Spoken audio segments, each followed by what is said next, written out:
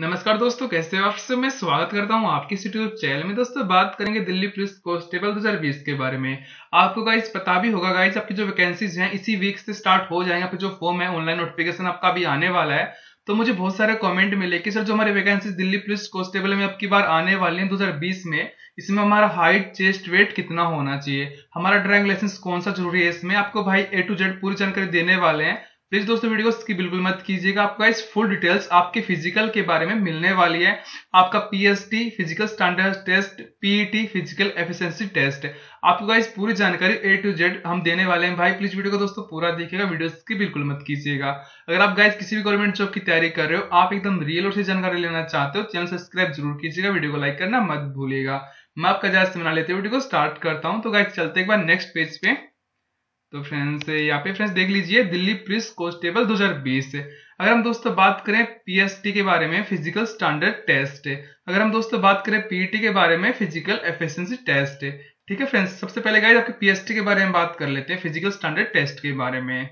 अगर हम आपकी हाइट के बारे में बात करें तो आपकी हाइट है दोस्तों 170 सेंटीमीटर होनी चाहिए। ये हाइट किसके लिए होनी चाहिए? जनरल ओबीसी एससी जो आपकी तीन कास्ट है भाई, इन तीनों के लिए जो हाइट आपकी 170 सेंटीमीटर होनी चाहिए। अगर हम दोस्तों बात करें एसटी के बारे में, ध्यान दीजिएगा एसटी कास्ट ओनली अगर आपकी कास्ट एसटी है, जो आपकी हाइट है 165 सेंटीमीटर होनी चाहिए। ये ओनली एसटी कास्ट वालों के लिए है, एक सौ पैंसठ सेंटीमीटर। ठीक है, ध्यान दीजिएगा इस बात के ऊपर। और हम बात करें जनरल ओबीसी के बारे में एससी के लिए। आपकी जो हाइट है 170 सेंटीमीटर होनी चाहिए। मैं उम्मीद करता हूँ आपको गाइस समझ में बात आ गई होगी। आगे चलते हैं भाई। आगे दोस्तों बात कर लेते आपकी चेस्ट के बारे में। फ्रेंड्स आगे देखिएगा।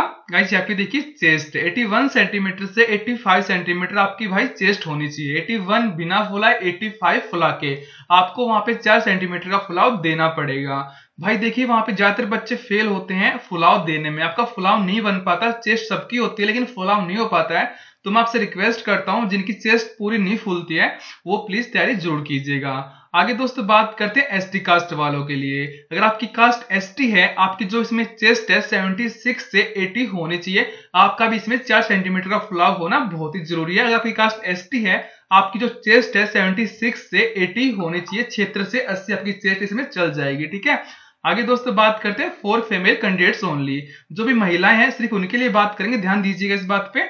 गाइस आगे चलते हैं। अगर हम बात करें महिलाओं के लिए हाइट में। आपकी जो हाइट है 157 सेंटीमीटर होनी चाहिए, एक सौ सत्तावन सेंटीमीटर हाइट होनी चाहिए लड़कियों की। अगर हम दोस्तों बात करें S C S T only जो भी महिलाएँ एस सी और एस टी कास्ट से बिलोंग करती हैं, जिसमें आपकी हाइट है 155 सेंटीमीटर होनी चाहिए। इस बात पे ध्यान दीजिएगा। आगे दोस्तों बात करते हैं पीटी के बारे में फ़िज़िकल एफिशिएंसी टेस्ट के लिए।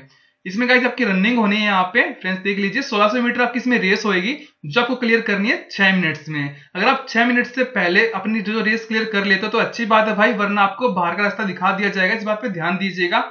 अगर आप अपनी रेस 1600 मीटर, एक किलोमीटर 600 मीटर, छह मिनट में क्लियर कर लेते हो तो भाई अच्छी बात है।